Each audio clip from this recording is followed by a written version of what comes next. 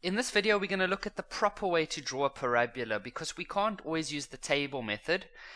It takes long and there's there's better ways to do it. And in class, they're typically going to show you they're not going to use that. They're going to show you the table method in the beginning just to get you introduced to the shape of the parabola. But then they're going to go on to different techniques, and that's what we're going to practice over here. But what's very important is that you have a good idea of what the graph will look like before even drawing it. So we, because we see that there's an x squared over here, we know it's a parabola. Okay, and I guess it also says parabola over there, but having that x squared should always make you remember the parabola shape. Now, is this going to be a happy or a sad parabola? Well, if you've watched the previous videos just before this, you would know that if that number in the front of the x squared is positive, then it's a positive or happy smiling parabola. And then this minus 4, what is that going to do to the graph? Well, that's going to move it four places downwards. And so the general idea is that this graph is probably going to look something like that. It's going to be four units down. I haven't done it according to scale. I'm just drawing a rough sketch graph of what it's going to look like. So it's going to be moved four units down, and it's going to be a smiling parabola. But now we're going to go look at proper ways to find, we're going to find the proper points so that we can draw this graph properly. The points that we're going to find are going to be the following.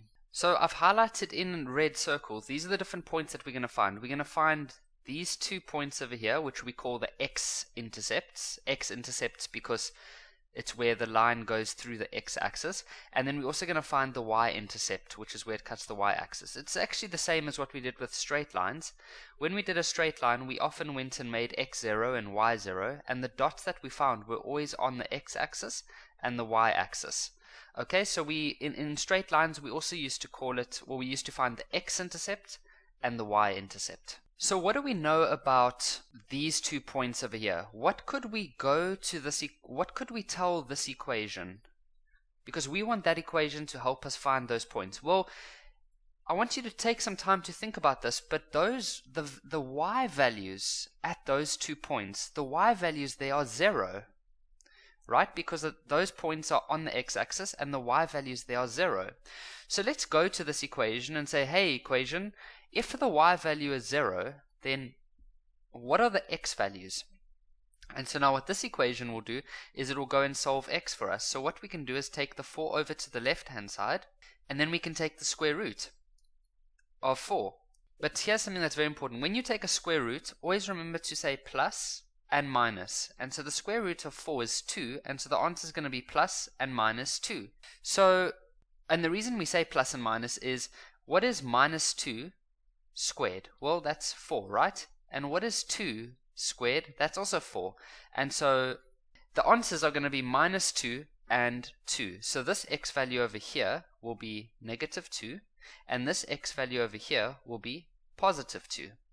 Then how do we find this point over here? Well, on that line, the x value is 0. So let's go to that equation and say, hey, equation, what is the y value on your graph when the x value is 0?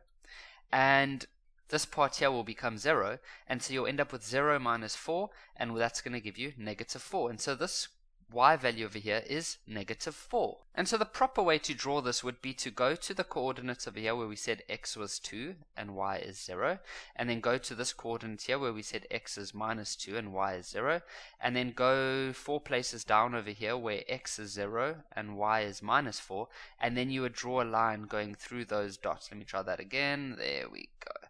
And then you would get your graph like that.